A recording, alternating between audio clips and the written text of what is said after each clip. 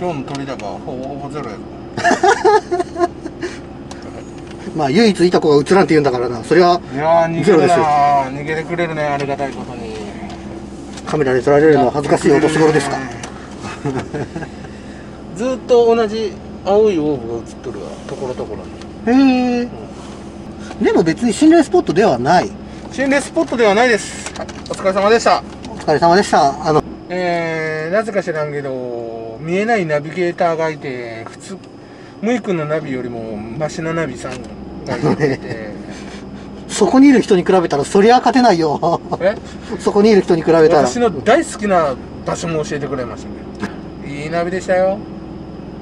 ムイ君には見えてないけど俺だけが見えるムナビやね堂々と歩けれるもん。迷わずに歩けれるもん。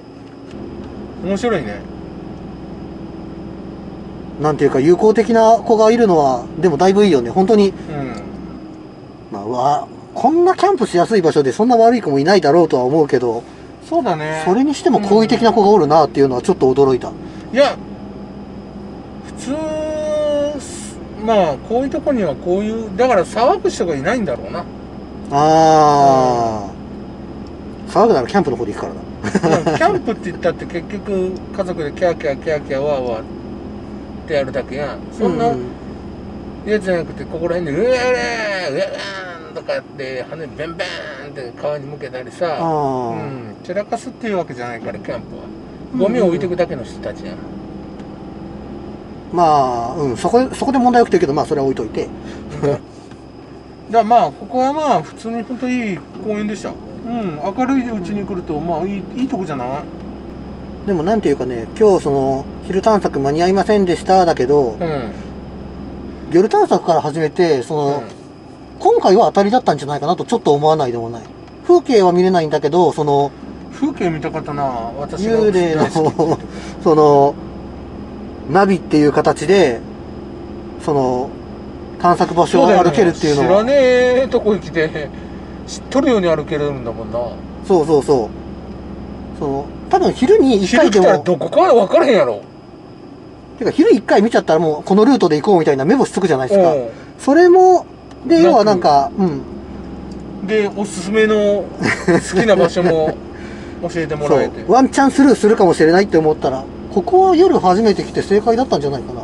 まあそう思えばいいんじゃないですか。心霊スポットではないけども。うん。ただのあの公園、うん、愛知県はやっぱもうダメ。あとは歴史系に歴史系に頼るしか。歴史系な歴史系になるとな。あ。まあ別に無理強いはしないから。コメントにもあったもんな。坂本龍馬やったっけ？あはいはい。大宮のところ見てきてって。うん。大丈夫？戦国よりはまだ歴史が近いから。金取られるんやろ？そうなの？料亭だろ？料亭なの？旅館じゃないっけ？旅館っていうか泊まるところ。暗殺されたの。かかるんや。食いどころだっけ？そうですね。コメント。今回の場所もねコメントでいただいたけど、うん。そういう場所の紹介だったり普通に雑談みたいいな会話でもねうん。ちゃんと励ましになってるし。気になったこともあったら言ってください何でも直すし質問に答えますし、うん、そうだね。質問コーナーもやらなきゃね。やりますから、えーとてもいい公園でした、えー、かわいいナビさんに連れられて歩けましたものでいい旅できました。ありがとうございました。ありがとうございました。また会う日まで。またお日まで。バイバイ。バイバイ。チェス